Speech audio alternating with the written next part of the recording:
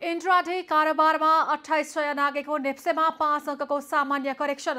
आगामी साता कस्तो रहला सेयर बजारको प्रदर्शन। नयाँ सत्ता समीकरणसँगै आक्रमक बनेको सेयर बजारमा साताको अन्तिम कारोबारको दिन बिहिबार सामान्य करेक्सन देखिएको छ। बुधबार मात्रै एक्काइस अर्ब एकानब्बे करोडको कारोबार सहित कारोबार रकममा नयाँ रेकर्ड राखेको बजारमा आज पनि एक्काइस अर्ब एकहत्तर करोड रुपियाँको कारोबार भएको छ भने नेप्से सूचकमा पाँच दशमलव दुई नौ बिन्दुले गिरावट हुँदै सूचक दुई हजार सात सय पचपन्न दशमलव छ दुई अङ्कमा रोकिएको छ। आठ कम्पनीको सेयर मूल्यमा सकारात्मक सर्किट लागेको बजारमा तेह्र मध्ये छवटा समूहका सूचक मात्रै सकारात्मक बनेका छन्।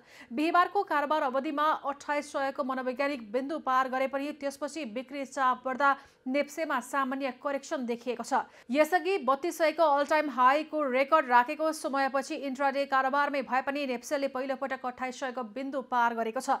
आज चौहत्तर कम्पनीका लगानीकर्ताले कमाउन सफल हुँदा एक सय चौसठी कम्पनीका सेयर धनीले भने गुमाएका छन् भने तीन कम्पनीको मूल्य स्थिर रह्यो।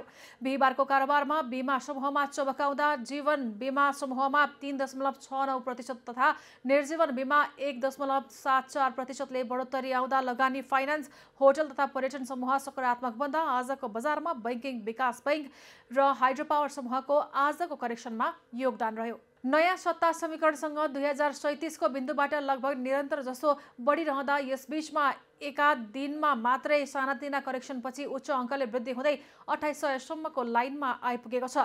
बजारमा नयाँ ब्रोकर नयाँ लगानीकर्ता र पुराना खेलाडीका साथै संस्थागत लगानीकर्ता पनि एकैपटक सेयर बजारप्रति आकर्षित हुँदा कारोबार रकममा पनि उल्लेख्य वृद्धि भएको छ। यो साता पनि निकै आक्रामक परेको सेयर बजारले कारोबारको अन्तिम दिन बिहिबार केही करेक्सन देखिए पनि अघिल्लो साता नेप्सेको समग्र प्रदर्शन कस्तो रहला? कमेन्ट मार्फत आफ्नो पूर्वानुमान व्यक्त गर्न नभुल्नुहोला।